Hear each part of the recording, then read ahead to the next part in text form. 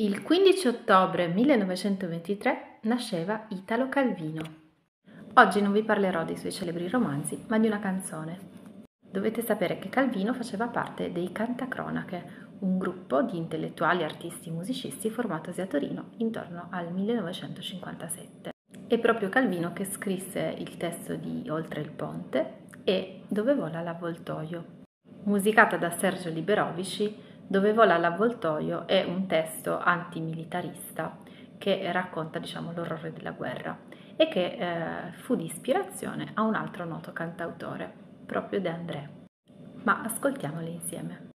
Nella guerra di Piero De André canta Lungo le sponde del mio torrente voglio che scendano i luci argentati, non più cadaveri dei soldati portati in braccio dalla corrente. Ora vi faccio sentire il pezzo di Dove vola l'avvoltoio. L'avvoltoio andò dal fiume ed il fiume disse no, avvoltoio vola via, avvoltoio vola via, nella limpida corrente ora scendono carpe trote, non più i corpi dei soldati che la fanno insanguinar.